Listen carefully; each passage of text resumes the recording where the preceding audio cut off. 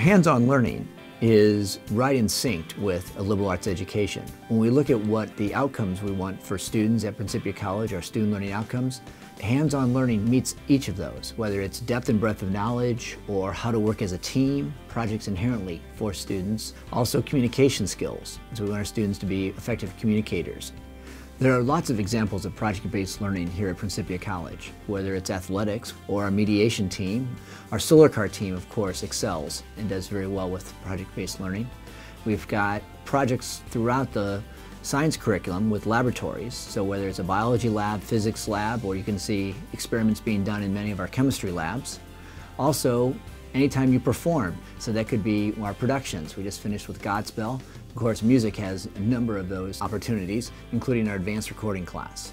And then one of our neatest new classes is where the students are designing and building 3D printers. And they're actually printing the parts for the 3D printers using 3D printers. So there's a wealth of opportunities in project-based learning here at Principia College.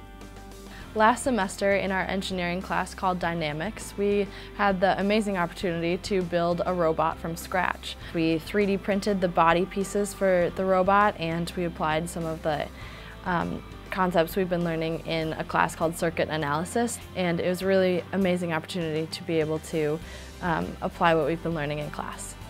This semester I'm teaching the advanced recording class, which is the second class in the series of courses to learn about music recording. It involves more advanced use of the recording studio, the equipment, the microphones, and the software.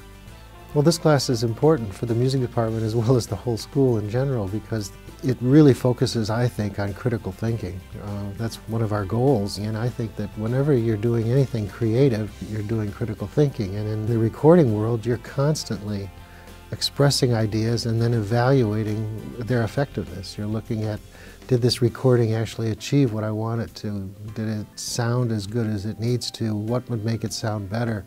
These are all critical judgments and I think that's all part of critical thinking.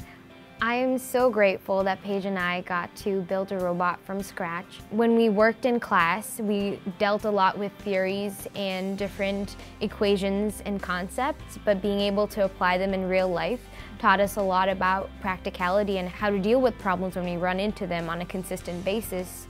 And as of teamwork, I think Paige and I learned how to build off of each other's strengths and produce a work that complements um, both of our styles as engineers.